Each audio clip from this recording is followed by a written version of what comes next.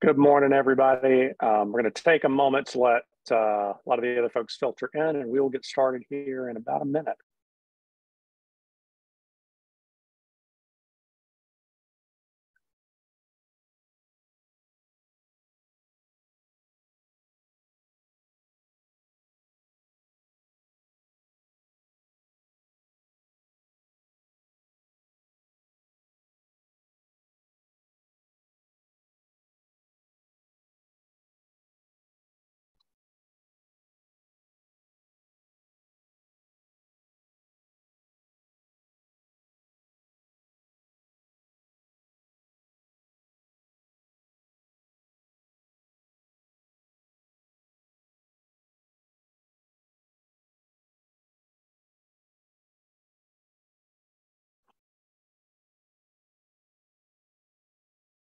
Well, hey, everybody. Uh, good to see you again. My name is Jake McKenzie. I'm the president and CEO of the Intermark Group. And uh, today was supposed to be a couple of us from Intermark, including our staff psychologist, James McFarland. Um, and he likes to make a dramatic entrance. So here we are, James. So good to see you. Dramatic in- um, entrance indeed. So I'm here. I love it. Um, well, we are here today to talk about uh, what's going on with our consumers. People are feeling incredibly stressed and how that is affecting them. And we're seeing they're being stressed across multiple dimensions in kind of unusual ways. Um, but before we start, as always, we'll tell you a little bit about uh, Intermark. Intermark is, of course, the nation's largest psychology driven marketing firm. Uh, we've got about 80 full time employees. We're headquartered in Birmingham, have offices in Atlanta, South Florida, and we're opening one in Denver this year, very excitingly. Um, and we work across brands who help change beliefs and behaviors. And we have been privileged to work with some of the largest and coolest brands in America. And the thing that these folks all have in common is they are passionate about applying psychology to get better outcomes. And all of them are exceeding the growth rate of their peer groups um, across just about every metric. And you'll see this through disruptive psychology, applying some great psychological principles. Would love to add some of the attendees to this list uh, in the future. So if you have questions or would like to dig in a little deeper, uh, give us a question. Otherwise, we're going to dig in and really spend a day talking about psychology, what our consumers are feeling, and how that applies to marketing and how we can improve marketing. The headline here is the economy. Um, you know, here at the end of the year, we're visiting all of our clients, doing annual planning for next year. And this is topics number one through five that everybody wants to talk about. Everybody in the C suite opens the meeting by saying, What's the economy doing? What's it going to do next year? And what should we do with our budgets, particularly? And I can tell you, I'm not an economist, so I don't know. Maybe we're in a recession, maybe we're not in a recession, but unequivocally, as James is going to highlight for us, consumers think that we are either in a recession or headed towards one, and consumer sentiment is unequivocal. So one of the things that James and his team tracks is consumer confidence, and this consumer confidence index really highlights how intense this is. Consumer confidence is in worse shape than March of 2020, back when we all went into lockdown and we were hiding from the world and worried about what the economy was going to be like. We're now in worse shape, which is kind of crazy when you think about it. So, what does this mean? Um, well, it means that consumer sentiment's in, in a terrible place. We think a lot of this has to do with inflation. You know, inflation continues to triple. That has uh, lowered the gap of discretionary spending income from consumers. And what we are seeing as a consumer behavior is that consumers are, by and large, cutting back on their spending and making different choices on the brands that they use. Right, James? Yeah, 60% of consumers in last year reported that they have reduced spending in things like household items, groceries, going out to eat, entertainment. Um, but this is mostly driven by, like, as you expect, people in lower income, but also people who uh, don't have college degrees. So, and finally, and interestingly, Gen Z, younger boomers, older millennials, they're the ones that are feeling the pinch the most, is what we're seeing out of these reports which is really one of the highlights. You know, while this economic pinch is coming, it's not applying to everybody equally, at least perceptually. Some of the older crowds, which surprise a lot of folks, are more concerned about the economy. We think that's because they have a framework. They remember the last time we went into an economic downturn and thus have a mental model for how that works. Whereas some of the younger consumers are like, oh, this is just the next thing, and they don't know how things are going to play out. But most importantly, when we believe we're going into an economic downturn, our brain literally rewires and we process information in a different way. Yes. So I'm no economist either, but yes, the human brain, when it encounters uncertainty, stress, danger, things like that, there is this neurological process of rewiring. Uh, our cognitive flexibility goes down. We can't think of as many things at once. We can't deal with change very well. Our memory suffers. We might be forgetting something if we're really under stress and we're not able to encounter this new and novel information and then retain it quite the same way. But it's kind of a double-edged sword because the other thing that happens, the other parts of our brain that have to do with like our gut intuition, our emotions, and more of our habitual behaviors and responses, those areas of our, of our brains are on higher alert. Those are working at top notch. They're going as fast as it can go. Um, and so it's kind of a double, it goes both ways. Two things happen here. You know, one of the big highlights I want to hi- uh, point out here is this habitual behavior. So, the people who already have relationships with brands are likely to continue those relationships with brands. So, we've been talking for a long time about the need to build and develop brand loyalty with branding. And the folks who have done that are likely going to benefit as we enter into an economically uncertain period. But things change when we're in stressful times and we begin to engage in summary in highly irrational behavior. Now, some of this you're familiar with, oops, um, such as when we entered into the last time uh, the consumer confidence dipped and we started hoarding toilet paper. And as you probably recall, there was no actual shortage of toilet paper. The manufacturers were producing it as fast as they were. There was plenty in the pipeline, but it's hard to find at stores because we began engaging irrationally. Now, we expect other irrational behavior during this period, but it's likely to manifest itself a little differently. It likely won't be toilet paper because we're not going to be holed up in our homes.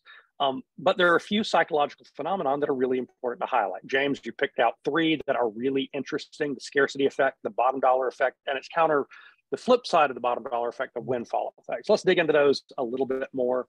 When we enter into a period of scarcity, both real, such as I have fewer dollars in my bank account, or I'm worried that I will have fewer dollars in my bank account, but also supply chain issues has effects on how we process information. We know that this is not going to apply just to consumers, but also to retailers and business owners, 90% of which are worried about some form of inflation and or supply chain issues. So we're seeing this on both sides of the fence. But the effect it has on how we process information is what is really interesting. Yeah, situ- or research they've done on farmers or other places where resources were very scarce, they found that there's up to like a 13 point drop in IQ. Um, what this means is it's much harder to navigate complex issues or novel issues. Again, our brain goes back to those back to those more habitual instinctual responses. The other thing that happens is that we kind of get this tunnel vision, and we uh, in tunnel vision in three areas, in fact. So we focus more on the item that's scarce, in this case, it'd be money. We focus more on the temporal orientation, which is so not so much the past, not so much the future. We're become more and more worried about the present. And then the last thing we really focus on is ourselves. We get a little bit selfish. We're like, what, what's going what does this mean to me? What's going to happen to me? And so all these factors are going to play into it. Uh, that's absolutely right. Um, and because we are more temporally near term focused has implications for how we market. Mm-hmm. um, including such things as the bottom dollar effect which says simply that as we get more concerned about our funds we focus more on where those last few dollars get spent. How does this really manifest james yeah, so it's all about perspective. Like we know how much funds we have, we know it's running out, we know what's going to deplete our last dollar. And so that's an anticipation of losing that last dollar that really drives this bottom dollar effect. And what research shows is that yes, when we spend that last little bit of money on that item, uh, we tend to perceive that item not nearly as favorably as we would as if we had funds left over. Um, we we associate that item with the loss of our money; it's gone, and which is really interesting. So if we are one of those last decision points of purchase, particularly as we enter the holidays, we can get negative brand perceptions through no fault of your own. Not, has nothing to do with your marketing, has nothing to do with your products, but merely because of when you're bought within the cycle. And this may not be something you can do anything about, but perhaps there is. There is a counter to this, um, which says that while we're broke, it's that last purchase that really hurts. But if we feel that there was a windfall just prior to that, it has the opposite effect and of course, this is cleverly called the windfall effect. Yep, totally. That's what research shows. Is in the, these studies they did. They had the people down to their last dollars, their last little budget of credits is actually what they used in the research. But um, just prior to spending them, they said, "Here, here's an additional five or four. and all of a sudden that completely offset the bottom dollar effect. People no longer perceived uh, that thing that depleted their funds as being a negative light, they actually saw it in a more positive light, um, simply because it broke up that perspective. That perspective of that, oh no, I'm, I'm running out, but oh no, all of a sudden, here's something extra.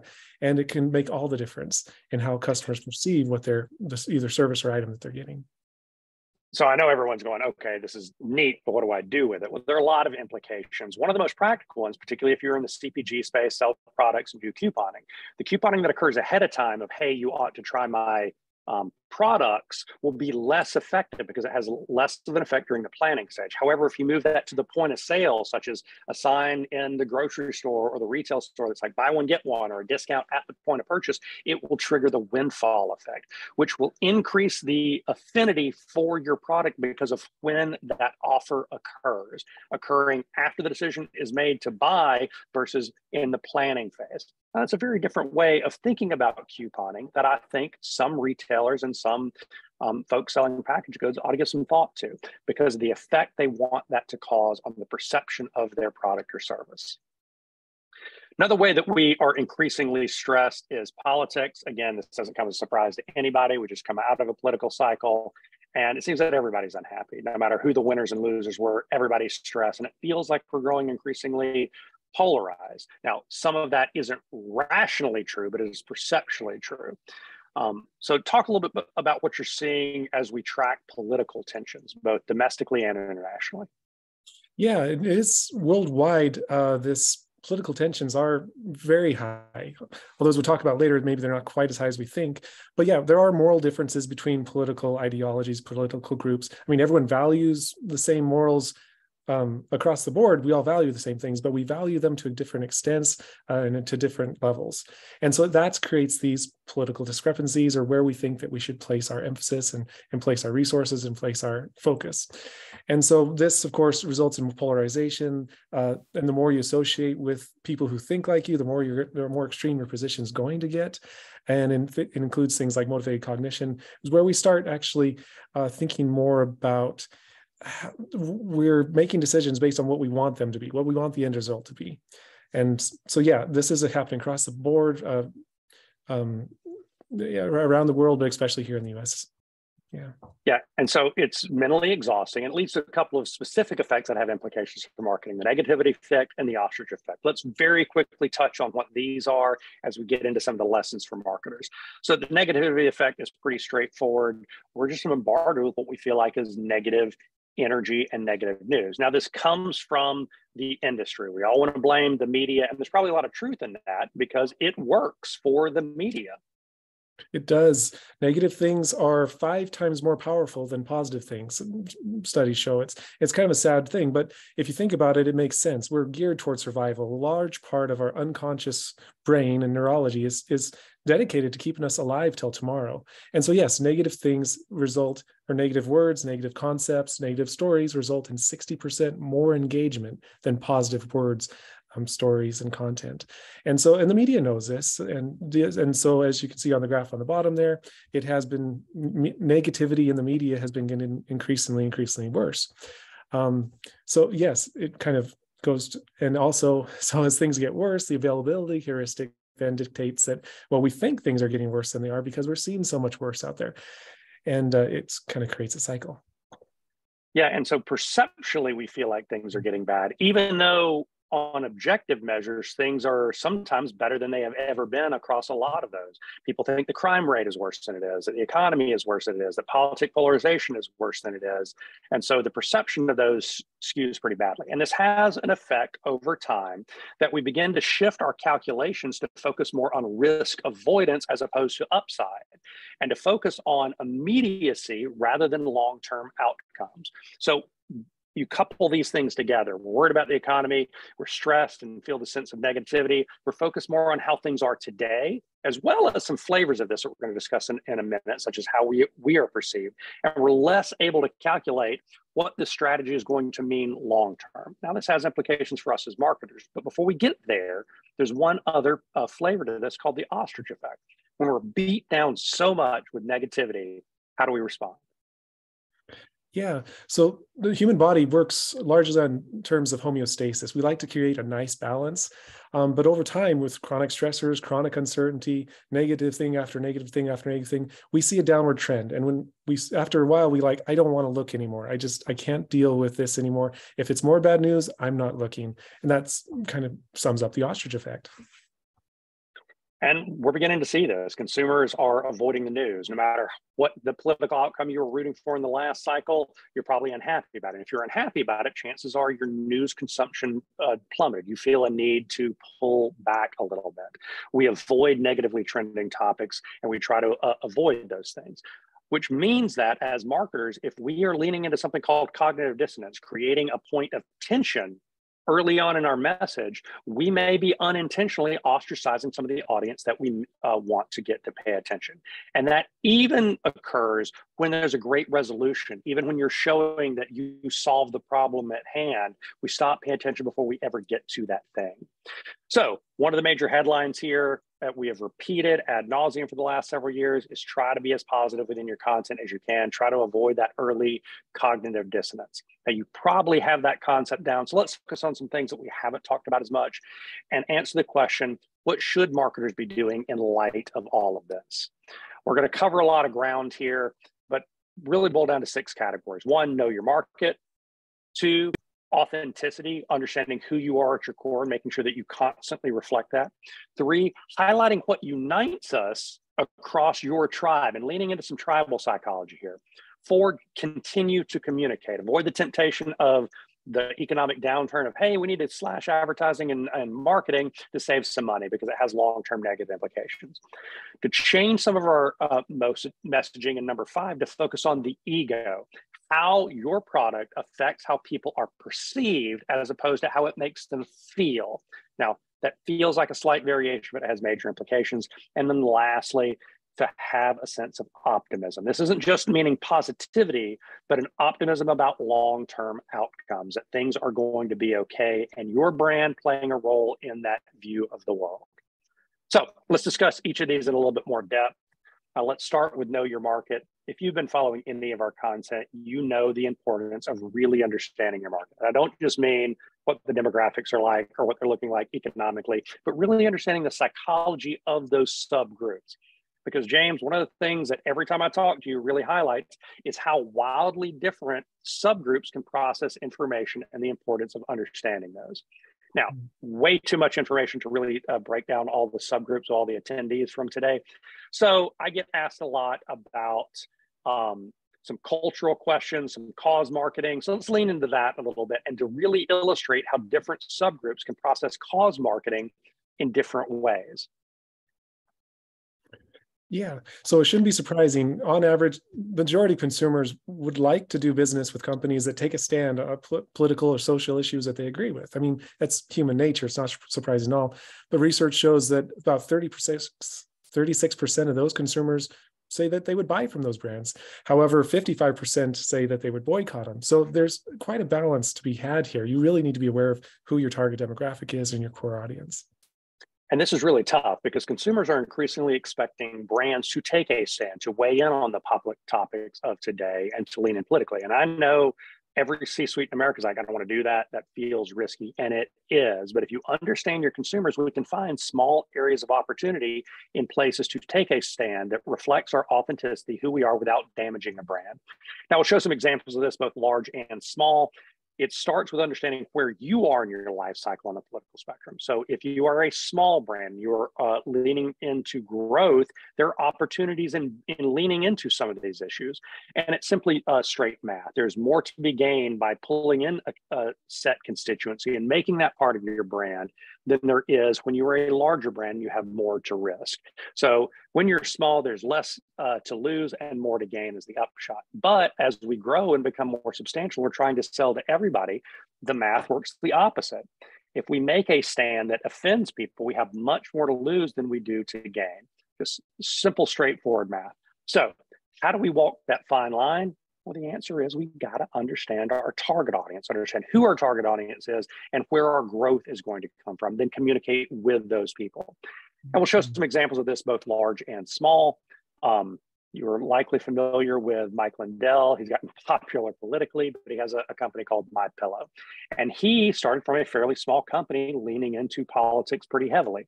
And we saw um, leaning into those politics has done great things for him. He has focused almost exclusively on one segment of the population, the conservative conservative audience that likes his political views, and focusing on them. And in doing so, he's built a successful brand. Now, a lot of you are saying, but wait a minute, I'm not a small company and I don't want to do that. I don't want to be volatile in politics. And man, I get it. That wouldn't be my move either, but it can work. So let's look at somebody that's a little bit larger to see how they leaned into politics but still reap the benefits. Now, a couple of years ago, you probably saw where Nike ran this ad with Colin Kaepernick. It was during the controversy about him kneeling during um, the national anthem at the beginning of games, and they ran this ad believe in something, even if it means sacrificing everything. Now, at the time, wildly controversial. There were a lot of marketers that viewed this as a massive mistake, but it turned out it wasn't a major mistake. Nike grew almost 10% in the period shortly following this period. Now, why is that? Well, they had an understanding of who their target audience was, and it wasn't the folks that were offended. Sneaker sales did not skew like we thought them. It wasn't the boomers and the older uh, Gen X folks like myself that buy a lot of sneakers. I might buy one set of sneakers every year, even every other year.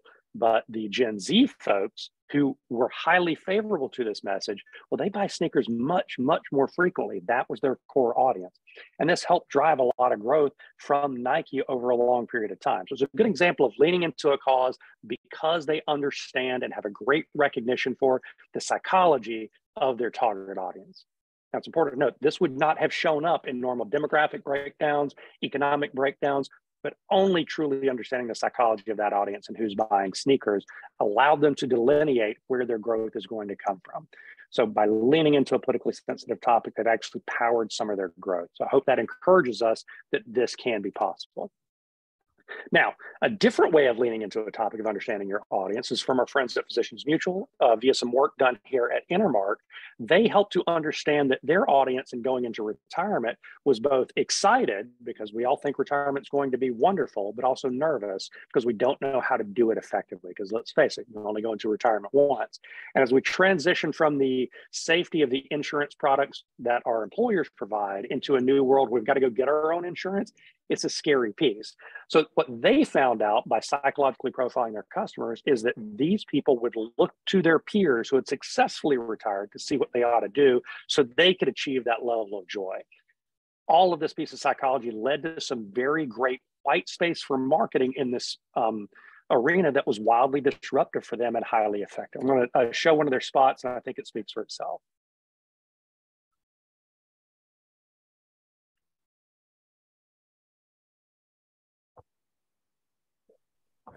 Think we're having an audio issue. We're, yeah, it's the sound's not coming through. Oh, my bad. Let me stop that and do it again, folks.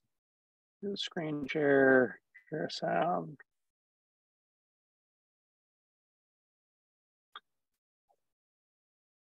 Ah, what a beautiful day to welcome you to your retirement with Physicians Mutual, including coverage for the gaps in Medicare. Oh, I'm so happy I could just sing.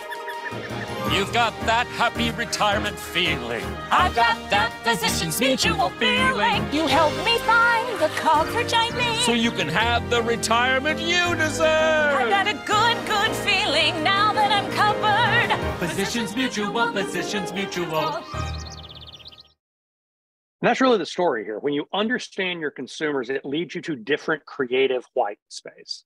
If you're in the right creative white space, you can communicate and connect with those consumers even more effectively. And I think it's a wonderful example of it. Physicians Mutual is doing spectacularly well and has really disrupted the industry as a result. You know, somewhat related to understanding this uh, consumers is having a sense of authenticity really understanding who your company is and what it represents and using that to power your brand. And it's because consumers respond very differently to companies that they consider genuinely authentic and those that they don't.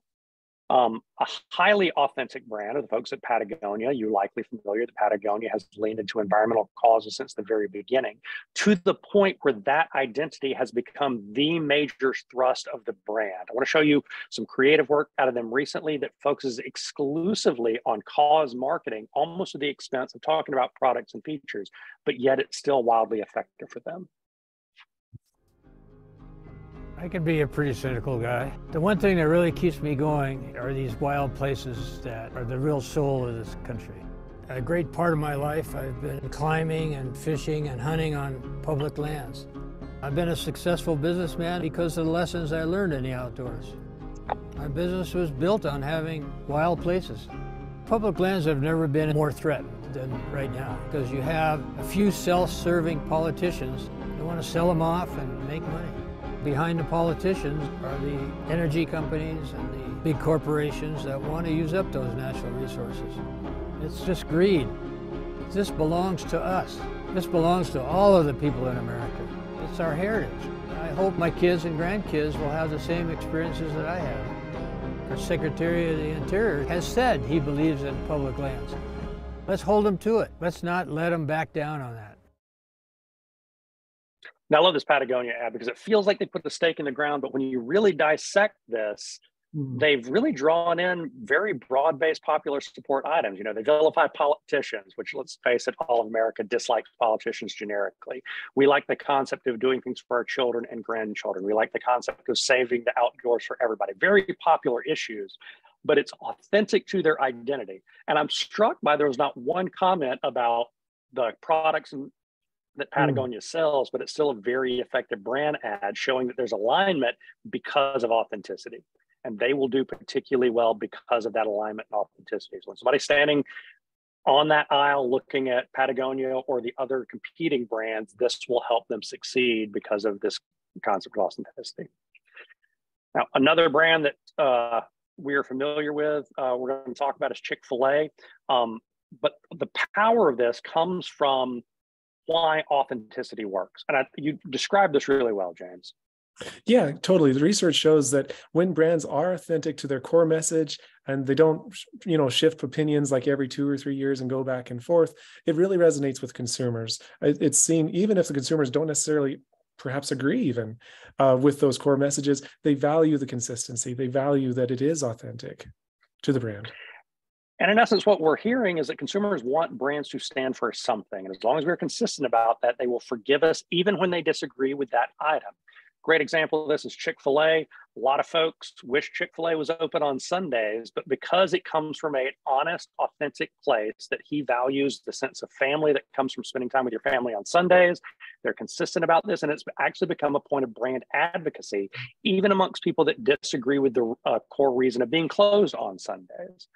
Chick fil A, of course, is a company that uh, just about everybody I know would love to emulate their success, the brand passion they generate, but it's really reflection of that sense of authenticity of who they are, being transparent about it, and being consistent about it to build a brand identity. So the lesson here is to not pick the flavor of the month of, oh, let's have some brand advocacy around this topic and then drop it and never talk about it again, but to pick something that's true for the brand and make that part of the brand identity if you're going to do it at all.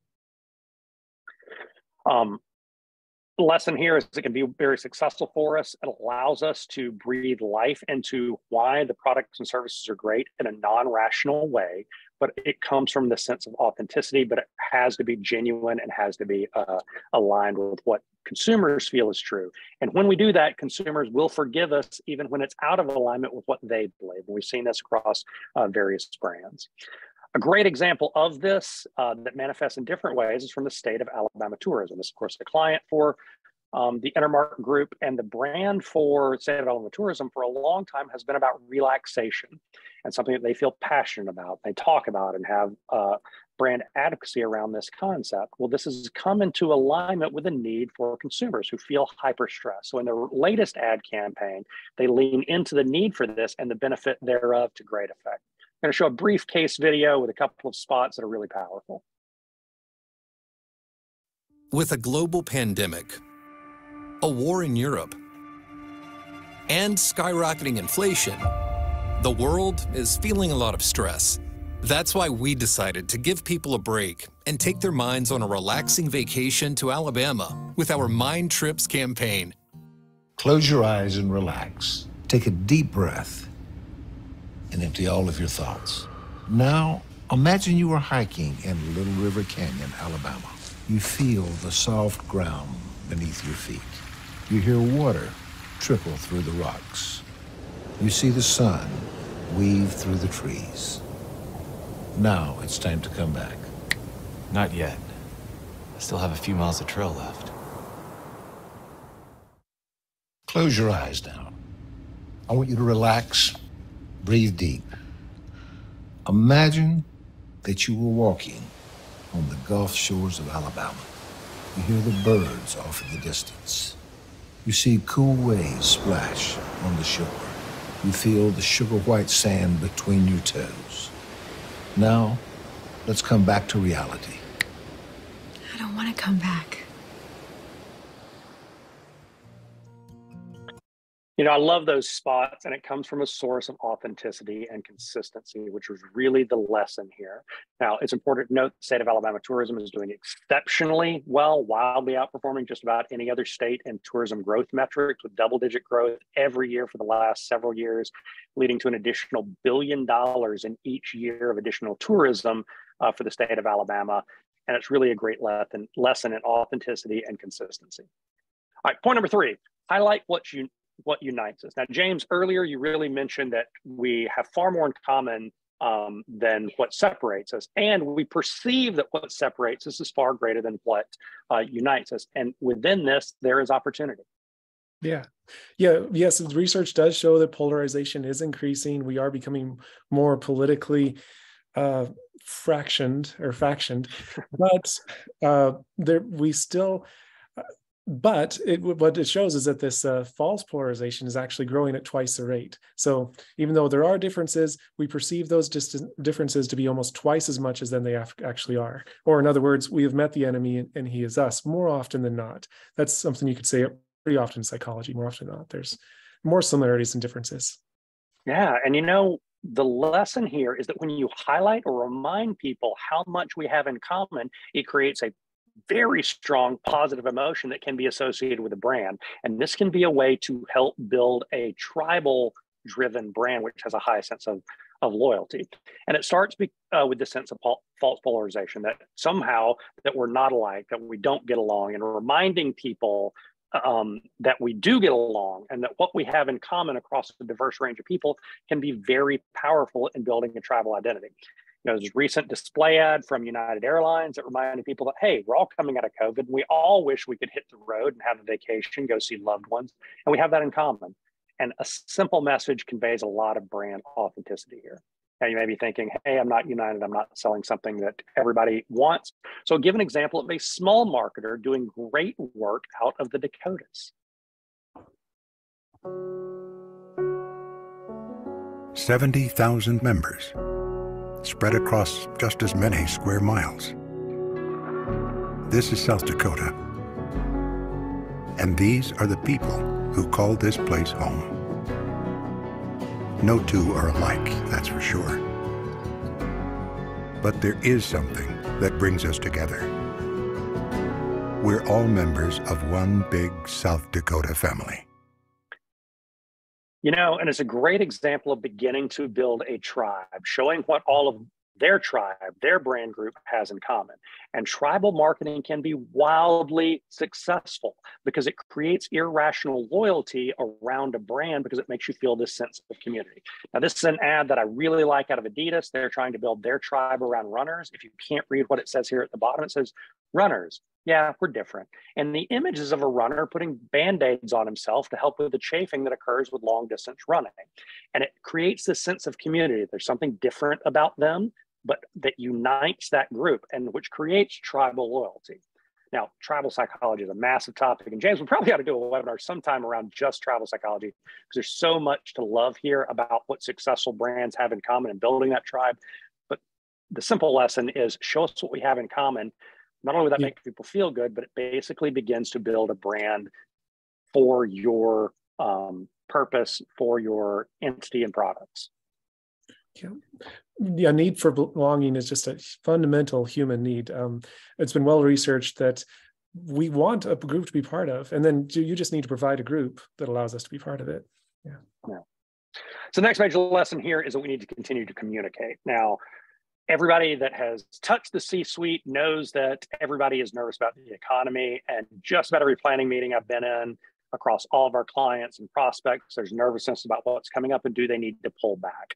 We face this every time there's an economic downturn. We talked about it in 2020. We talked about it uh, back in 2008. So let's share with you some of the lessons that has been learned over the last 100 plus years of looking at economic downturns and how it affects marketing. The short answer is don't cut your budget. I know that's the temptation, but it has a long term effect, not just over the next six months or 12 months while your budget is down, but the effect can last as long as five years. And it's because brand building occurs over a long period of time. And it's not just performance marketing, but it's how people feel about our product and services. Now, this is because people use our products less in the near term. As we see, there's a habitual sense of behavior that you don't want to break, but also because of how they think about our products. They perceive us less well if we go dark. Now, this occurs over periods of time, over lots of brands, and it has to do with one simple driver the mere exposure effect. Now, we measure this in terms of share of voice, how frequently they hear from us versus our competitors. So, what's going to happen within your space? Well, without looking, without even knowing what space you're in, I can guarantee you that a bunch of your competitors are going to pull back. And hmm. if they pull back and you don't, or if you even add a little bit to spending, your share of voice can go up dramatically just because of how the simple math works. And share of voice is one of the highest prediction factors of whether or not you're going to be successful in terms of market share. And that's what's happening. They hear from you more frequently, and it has a long term effect during a period when they're hearing from your competition less. We know that has a positive effect in the near term. It will keep you more stable during an economic downturn. You will keep your business, whereas our competitors will keep less of theirs. But perhaps most importantly, is it helps us in, engage in a long period of growth. So this is from the last major economic downturn that we had of 2008, and they tracked the brands that increased their spending during those periods. what they found is that they wildly outperformed the market. So the S&P 500 could be considered average. It's kind of the, the average of all the major brands and the companies that doubled down that had gone to gain market share during that period, almost a 300% performance better than the S&P 500. And this is over a 10 year period. So what we're trying to get across is the decisions you make today aren't just going to affect the next six or 12 months. They're going to affect the next five to 10 years. And it's because of the opportunity created when our competitors cut spending and how we're going to react. So continue to communicate. It's hyper important. And during an economic downturn, it presents an opportunity to gain some separation between us and our competitors. The next lesson has to do with messaging and it has to do with how we are processing information that we need to focus on ego as opposed to hedonism. So, how our products and services affect people's perception of you versus how it's going to make you feel. Now, we're always want to focus on how it's going to affect consumers, but this is a subtle change that can have a powerful effect. Yeah. So, when times of uncertainty again we're dealing with people who are anxious kind of this chronic sort of uncertainty and stress that's been going on. And so it's going to start triggering some known as terror management theory. Like people are kind of starting to become aware of their own mortality and they're starting to wonder can i make it through? Is this going to be all right? And so it's really important to increase the person's they're going to start looking for autonomy competence and mastery. They want to know that they're capable of dealing with what's coming. They want to know that they're going to be able to succeed that they're going to master the task in front of them. And and this is what we're seeing now in consumers. They're looking for messages that will allow them to feel these things to allow them to feel like they can control what's coming we're already seeing some great brands out there leaning into this concept to focus on ego as opposed to hedonism, and they're getting some great outcomes. This won't surprise you that the folks of Nike have been leaning into this, and this has been part of their brand identity uh, for a while, in fairness, but we expect to see increased relevance during this period as we begin to look uh, internally and we're specifically filtering on how other people will perceive the brand decisions that we make. There's no better feeling than knowing that you gave 100% and that there was nothing left to give. Rain or shine, I push myself to the limit every day. And I don't believe in shortcuts because you don't earn anything. You have to earn it. In the tradition of these legendary sports pros. As far as I can see, I made it to the threshold. Lord knows I waited for this a lifetime, and I'm an icon when I let my light shine.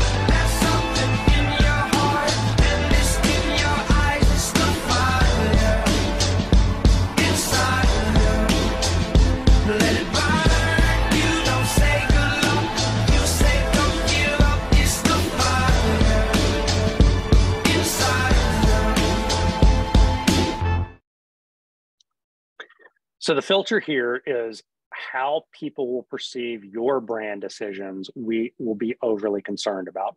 Now, this applies in a lot of spaces. We've seen Dove lean into this concept and really highlighting that we are really poor judges of how other people will perceive us. We have a tendency to overvalue those things. And by highlighting that, how it can make us feel.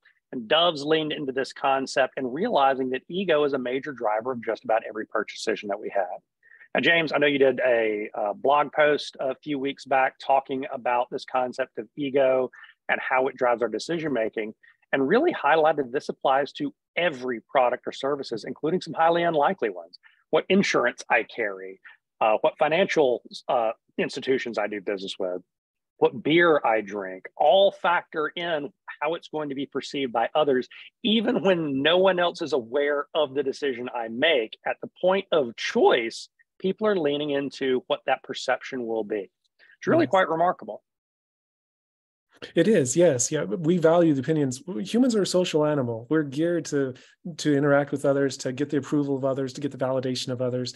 It's a fundamental human drive, and so yes, we are very ego driven, especially during times of uncertainty and when we're worried that we might not make it.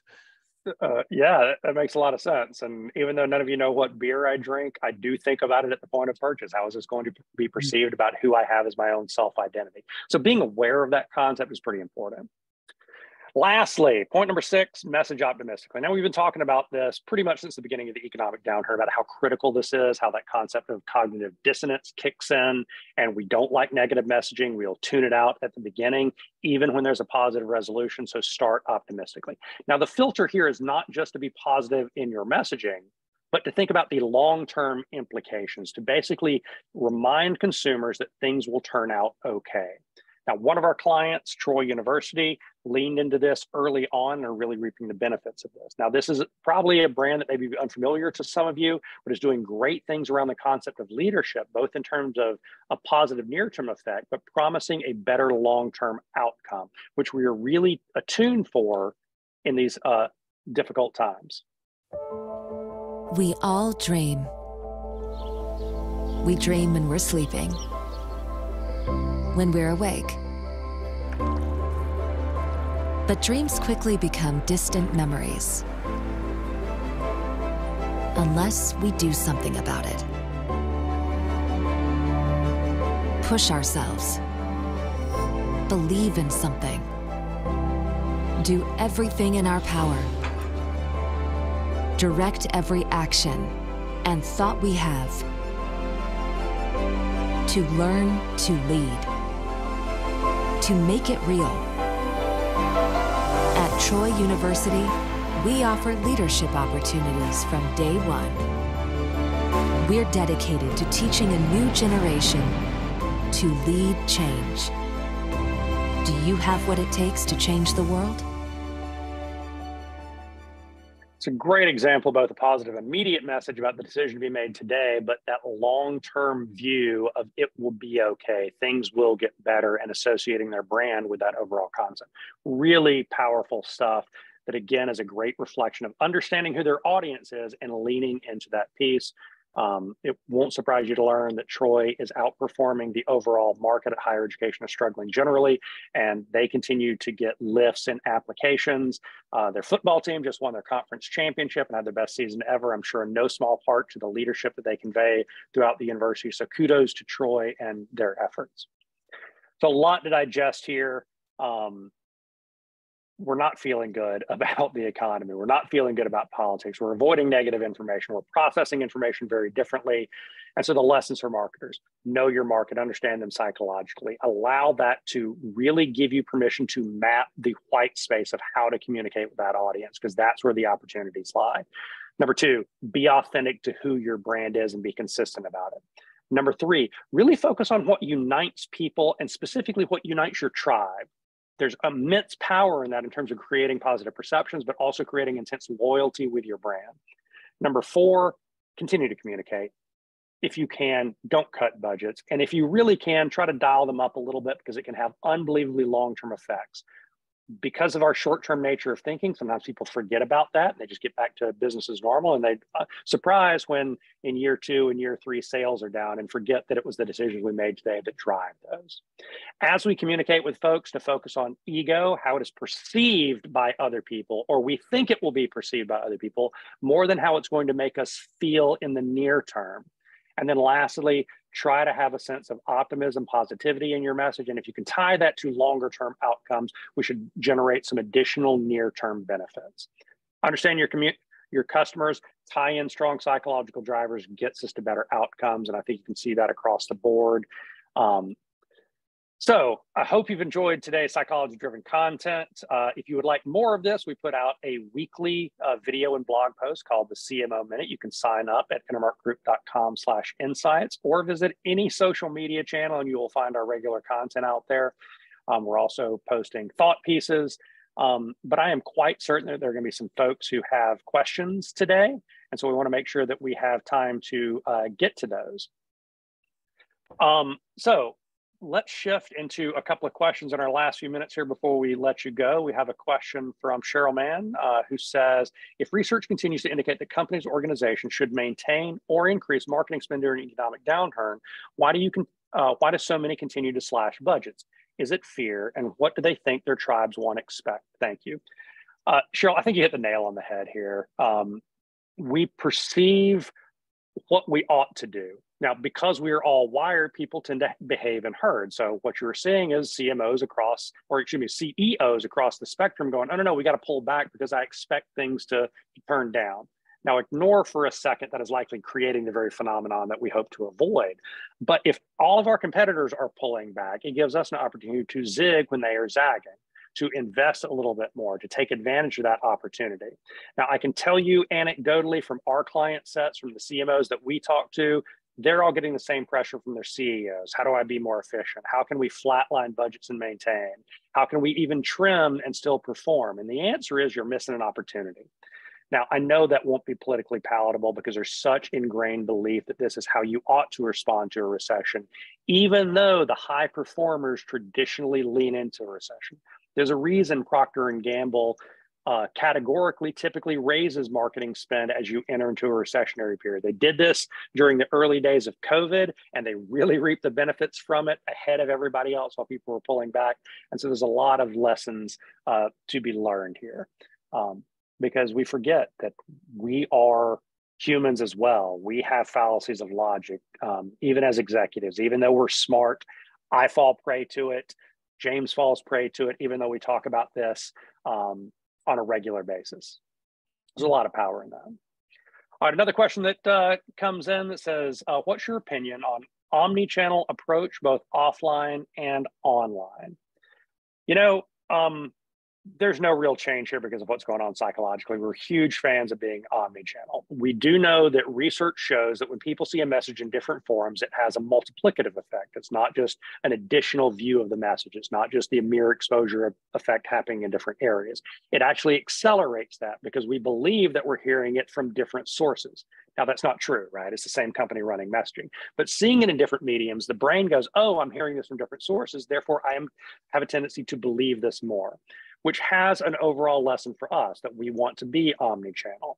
Now, content marketing is something that every company ought to be doing. You ought to have a strategy for your social media content, for your blog content, uh, for your PR content, and it ought to be in alignment with your messaging content. And we ought to be in multi platforms with our marketing message, assuming that you can afford to do those.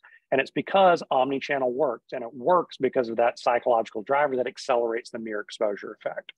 Now, James, you talk about this a lot. Mere exposure effect is the most powerful driver in marketing, which is both great. You know, marketing works, even bad marketing, but it also leads us to this false sense of security because the largest brands can run terrible advertising with terrible strategy and just overwhelm people because of their sense of mass.